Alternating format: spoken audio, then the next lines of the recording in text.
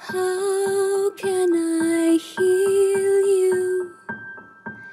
How can I make it right? How can I destroy the shadows you see at night? How can I be the friend that you have been to me?